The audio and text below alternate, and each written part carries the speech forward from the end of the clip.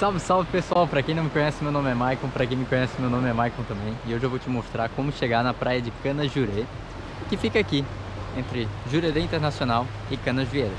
Agora a gente tá partindo aqui ó, de Jurerê. Essa aqui é a belíssima praia de Jurerê Internacional. Joga aí no Google Maps, Canas Jurê, que não tem erro Teu GPS vai jogar em alguma das ruas E ali tu deixa o teu carro, acha um local correto Estaciona, acessa a praia e aqui a gente vai iniciar um caminho à direita dela e vamos até Canas Jurê. Bora ali que é rapidinho e tem diversas praias no meio do caminho.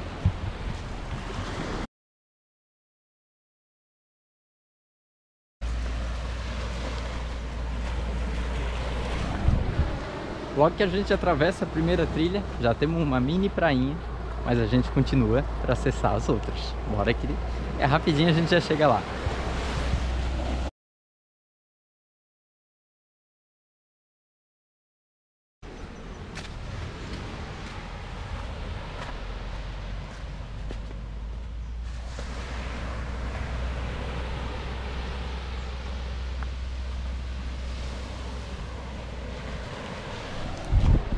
E chegamos à belíssima praia de Canajurê, onde temos esses coqueiros lindos aqui de Floripa.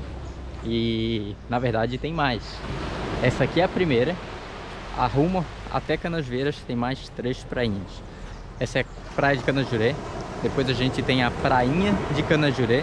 Depois a gente tem a Praia da Nega. E depois a gente chega na praia de Canasvieiras.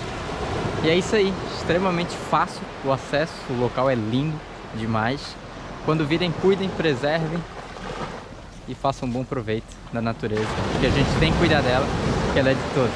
E agora, vamos tomar um banho de mar, que aqui pede. Aqui é mar calmo. Bahia Norte, águas mais quentes, então vamos aproveitar. Ali à frente, ó, Ilha do Xavier. É, não, do francês, errei.